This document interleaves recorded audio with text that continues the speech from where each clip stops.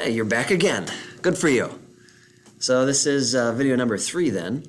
And, you know, having read this chapter already, you know that one of its primary concerns is the spiritual well-being of, of today's youth.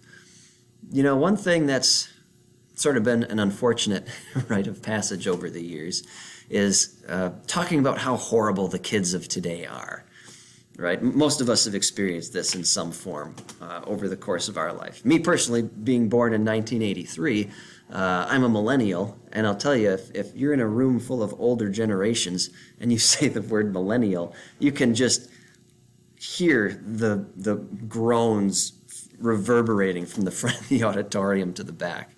It's just like, oh, you millennials, you're just the worst you take no responsibility, and you are lazy. And the list goes on and on and on. Uh, but of course, the reason that they're doing that is because when they were coming of age, they had older generations do the same thing with them. So, uh, you know, it, it's unfortunate, but this persists with us.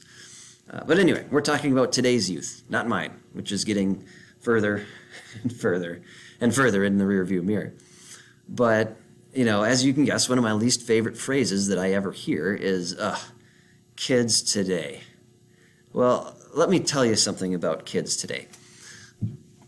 They are the way they are, the same reason that past generations were the way they were. They're a product of the environment that they grew up and developed in. So, you know, when we think about these kids today, we got to realize that, you know, if they were born in the 1920s, they would have fought bravely in World War II. If they were born in the 1930s, I have absolutely no doubt that they would have flown to the moon and back successfully. And so we have to realize this and remember that we shouldn't just look down on kids today just because they are kids today. You know, one thing I can tell you is that the students I have in my class, they're very honest with themselves. You know, if they don't think that the Christian church is based in reality, they're not going to waste their time with it. And can you blame them? But of course, they get this idea from our secular science curriculum, which of course teaches that everything got here by chance as a result of no creator, no designer, uh, ultimately no purpose. You know, is, is it any wonder that so many feel lost and depressed and confused all the time?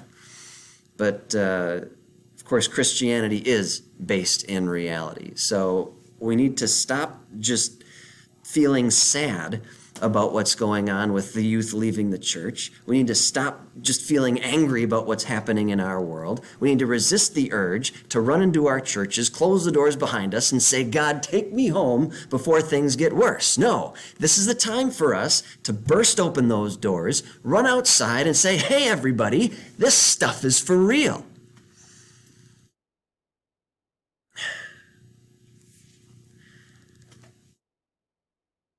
This, um, this is not a battle for pride or prestige. This is a battle for eternal souls of human beings.